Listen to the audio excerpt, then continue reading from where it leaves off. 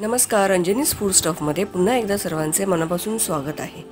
आजची आपली recipe special नवरात्रीच्या उपवासासाठी आहे आणि ती म्हणजे रताळ्याचे पॅटीस. खूप सोपी आणि चविष्ट रेसिपी आहे. चला तर मग सुरुवात करूया. या रेसिपीसाठी सर्वात आधी आपल्याला रताळा आणि बटाटा उकडवून घ्यायचा आहे. इथे ही साधारण पाव किलो रताळे आहेत. साधारण दोन तीन तुक होते पीस याचे. ते उकडून घेतलेले आहेत आणि एक मोठ्या आकाराचा बटाटा तुकडे करून मी उकडवून घेतलेला आहे. आता हे थोडं थंड झाल्यानंतर आपण ह्याच्या साली काढून ह्याचा किस करून घ्यायचा आहे. इथे आता आपली रताळे आणि बटाट्याच्या साली काढून झालेल्या आहेत आता हे दोन्ही आपण किसून घेऊया. अशा प्रकारे किसून घेतलं तर गुठळी राहणार नाही. हाताने स्मॅश करून घेतलं तर कदाचित गुठळ्या राहू शकतात. म्हणून अशा असं किसून घेतलं तर खूप बरं पडेल. आता इथे आपले रताळे आणि बटाटे किसून झालेले आहेत. यात चवीसाठी आपण थोडं मीठ घालूयात. जर तुम्ही रताळे आणि बटाटे उकडवताना मीठ घातलं असेल तर त्या अंदाजाने मीठ घालावं. तर हे व्यवस्थित मळून घेऊया.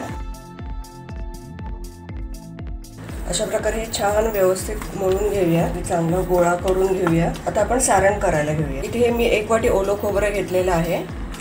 यात आपल्याला एक टीस्पून जिरं घालायचं आहे. इथे मी तीन हिरव्या मिरच्या चिरून घेतल्या आहेत त्याही घालूया. आणि हे थोडे मनुके आहेत म्हणजे दोन टेबलस्पून मनुके आहेत ते घालायचं आहे. ह्यात आपल्याला चवीनुसार मीठ घालायचं आहे आणि थोडी साखर घालायची. आता हे सर्व मिश्रण आपण व्यवस्थित मिक्स करून घेऊया.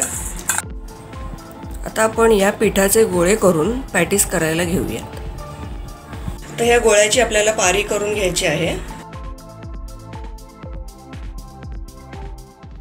यात आपण सारण भरूया.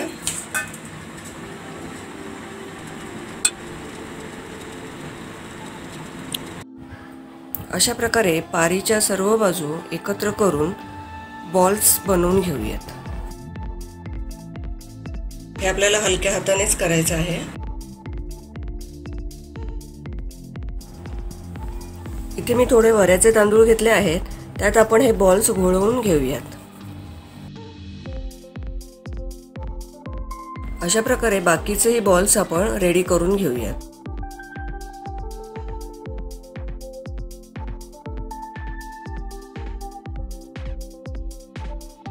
आता हे जे आपण गोळे करून घेतलेले आहेत ते आपण थोडे चपटे करून घ्यायचे आहेत.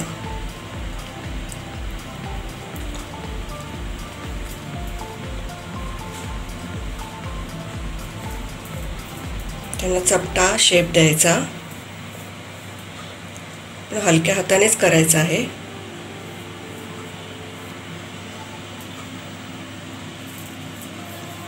अशा प्रकारे हे पॅटीस आपण करून घ्यायचे आहे. तव्यावर थोडं तेल किंवा तूप घालून सर्व पॅटीस आपण शॅलो फ्राय करून घेऊयात.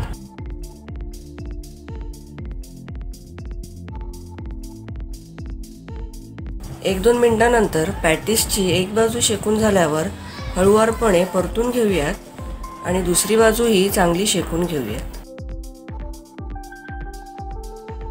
हे पॅटीस खूप शेकवून घेण्याची गरज नाही कारण रताळा आणि बटाटा आपण आधी उकडून घेतलेले आहेत. पॅटीस फ्राय करताना त्याचा कलर ब्राउनिश करायची गरज नाही. हलकेच थोडे थोडे शेकून घ्यायचे आहे कारण हे पॅटीस खूप नाजूक असतात आता आपले पॅटीस हे फ्राय करून झालेले आहे. हे पॅटीस तुम्ही दह्यासोबत किंवा उपवासाच्या चटणीसोबत खाऊ शकता. किंवा नुसतेही पॅटीस छान लागतात. तसेच हे पॅटीस गरम किंवा थंड करूनही खूप छान लागतात. तुम्हीही तुमच्या उपवासासाठी ही रेसिपी करून बघा. आणि रेसिपी आवडली तर नक्की शेअर लाईक आणि कमेंट करा. धन्यवाद.